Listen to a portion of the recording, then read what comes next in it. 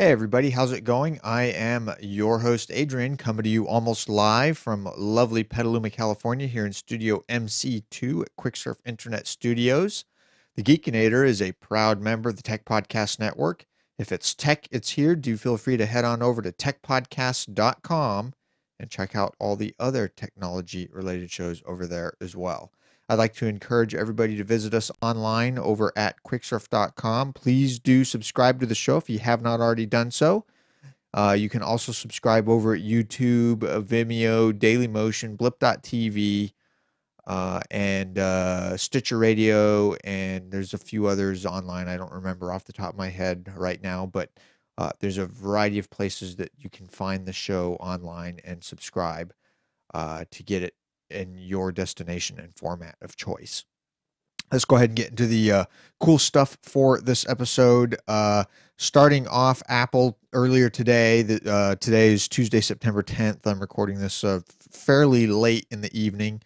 Um, Apple has had their special uh, announcement day, their special event today, and uh, basically um, what it's boiled down to is they've released two new phones uh, the iPhone 5S, which is basically the iPhone 5, which I have an iPhone 5 here. Um, but much you know up the the brains have basically been totally upgraded. It comes with a new finger fingerprint sensor which is cool for locking your phone because right now uh, you know anybody who uses security on their phone and i highly recommend that you do simply because of the sheer amount of stuff personal information on your phone. Um, you know you really should use a password or some some kind of security. Anyway uh, so there's a new fingerprint sensor uh, integrated into the home button which is kind of neat um, you know, all new uh, A7 processor, you know, new graphics, the whole nine yards. Awesome phone. Um, they've also announced the iPhone 5C. Now, the 5C is going to replace the standard iPhone 5. What Apple normally has done in, in the past has been uh, every time they release a new phone, the previous flagship phone becomes the $99 version, and the version before that becomes the 99 cent or the free version, depending on what carrier you happen to be on. Well, uh, Apple isn't going to do that anymore with this release cycle. It's now the iPhone 5S, the 5C, and the 4S. The 5C will be $99. The 5 will start at $99.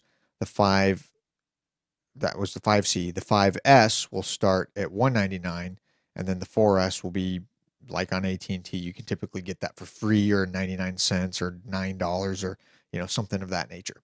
So pretty interesting. Um, be curious to see, uh, you know, what comes of of you know the the 5C it's a it's a plastic case you know comes in different colors all that cool stuff you know I'm, I'm curious to see how well that's going to sell because typically it's the lower end iPhones that sell really well gangbusters and it's the you know the, the top end ones that that don't sell as well. So anyway, uh, also iOS 7 now has a release date. It will be available uh, September 18th, if uh, memory serves correctly. Um, pretty cool. Definitely uh, looking forward to that. It's all new operating system for iOS devices. Uh, the iPhone 4S at least, uh, all the way up through the most current version will be able to uh, make use of it. The iPad 2 all the way up along with, you know, basically most of the at least couple generations of iPad iOS devices will be able to uh, uh, get iOS 7. Pretty neat. There's you know way more than what I can cover here in the show. I've already been talking for a few minutes about this, just covering the highlights. Um, Apple has released a video. You can get it online uh, at Apple's website, or if you're an iTunes user, you can. Uh, there's an Apple uh, Apple Keynotes uh, podcast you some you can subscribe to and pull it down. That's what I did. Watch the whole video. It's a little over an hour long, in depth. I highly recommend you go check it out. Uh, definitely if you're looking uh, to get a new iPhone, definitely uh, worth looking into. But that's not the only thing that's happened since the last time we've done a show. Oh, no, no, no. There's way more stuff online. Yes, over at Make Magazine, the Arduino Yun is now available. Now, we talked about this in a previous episode. Uh, pretty interesting. Um, it's the first Linux based Arduino board, putting it in a unique position, at least for now, in the Arduino hardware lineup. It combines an AT Mega 32U4 based classic Arduino, similar to the Leonardo. Um, embedded directly on the same board as a Wi Fi system on a chip running Linino. It's a MIPS Linux distribution based around OpenWRT. So this is pretty cool. I am definitely uh, interested in picking up a Yun. You know, as anybody who has watched my show for any length of time knows that you know I'm kind of an Arduino fan, and I you know I've got a little Uno here. I've got several uh, projects based on the Uno. I've got some Ethernet and and you know all kinds of cool stuff. Uh, so I'm I'm looking forward to the Yun, particularly if it's going to have you know Wi-Fi system on a chip and some other cool stuff. I'm you know should be pretty neat. They they have a YouTube video here. It's just under five minutes long. I definitely it's an intro video. I definitely recommend you go check it out if you're into Arduino. Pretty awesome stuff. You know, definitely worth looking into for sure.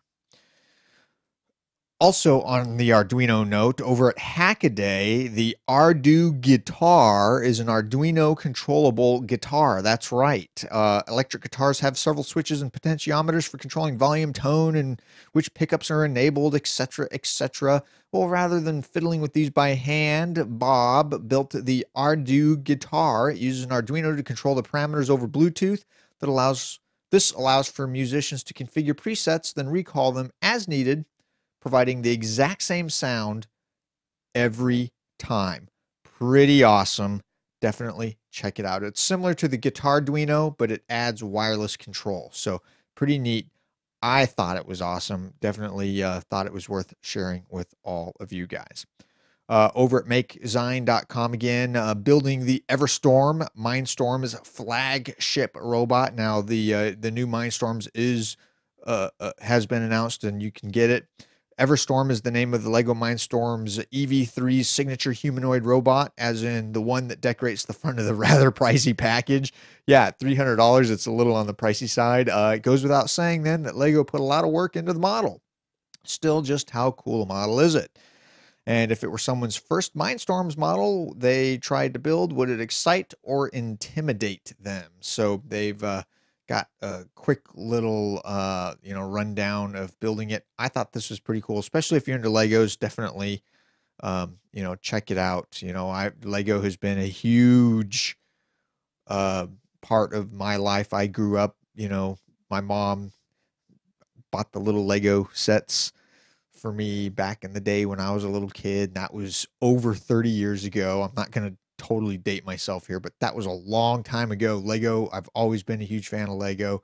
You know, I mean, as you can see here, I've got a little helicopter here. Uh, if you look up there, yep, right up there, I've got uh, another little Lego car. Um, you know, I have little ones running around the house. They're huge fans of Lego as well. So uh, definitely, um, you know, Lego is a huge part of this household. So pretty neat. Uh, definitely check it out.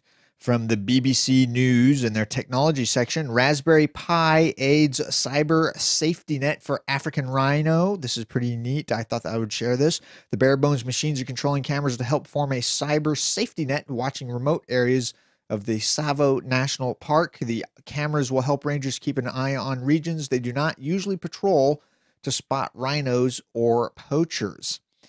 So uh, these are basically Raspberry Pi computers. They're placing them out there with cameras. They've got some connectivity so that they can uh, get images off of these things.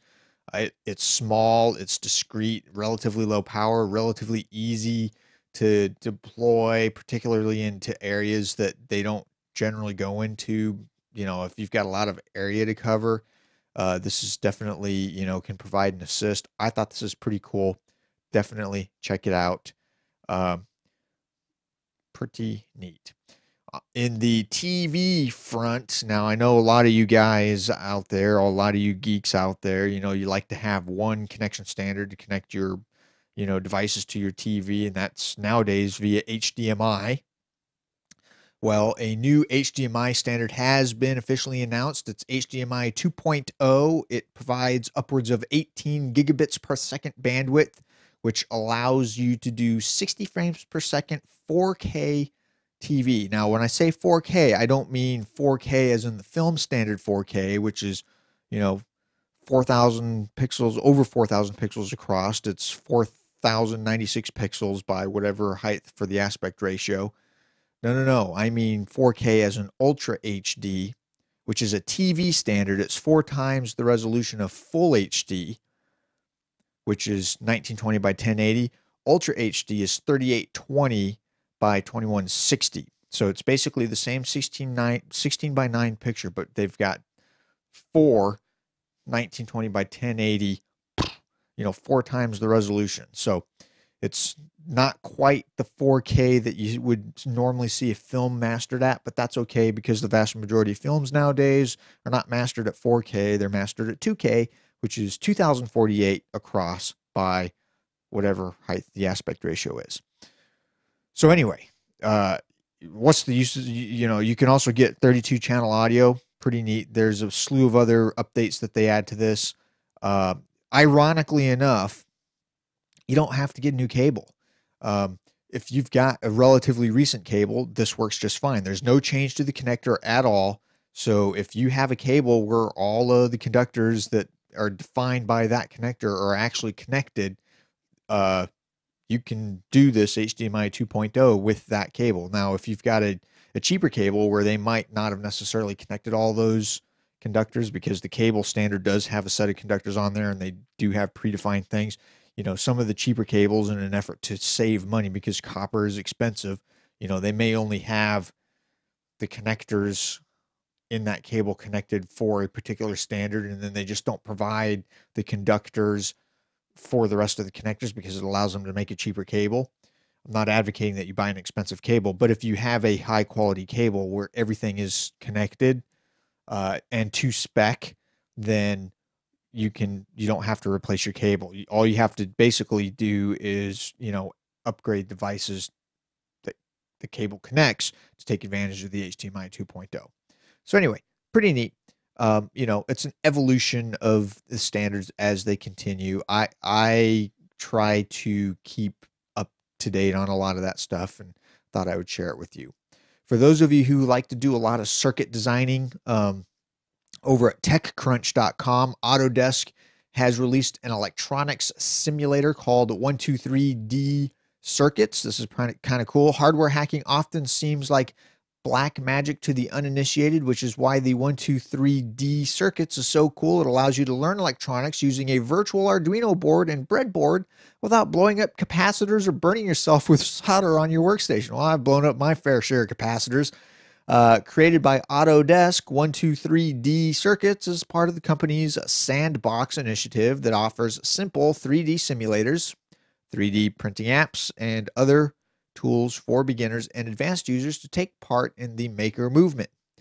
So, pretty awesome. Um, you know, I have a fair amount of breadboard design stuff going on. Here's one of my ah, ah, more recent. Uh, I don't know if I. There we go. Can I? There we go. One of my more recent projects. I'm doing some stuff. There we go. Um, with capacitive coupling, which is kind of neat. Um, if you look in the background, I don't know if you can see it right there. Right there. There we go. Uh, is another breadboard with some stuff that I've got going on that. So anyway, um, I might actually be checking this out because this is definitely something that I'm interested in. So pretty neat that will do it for this edition of the Geekinator. As always, everything we've talked about is linked up in the show notes, which you can find online over at quicksurf.com. Please do subscribe to the show if you have not already done so. And with that, I will see all of you on the next episode. See you then. Bye.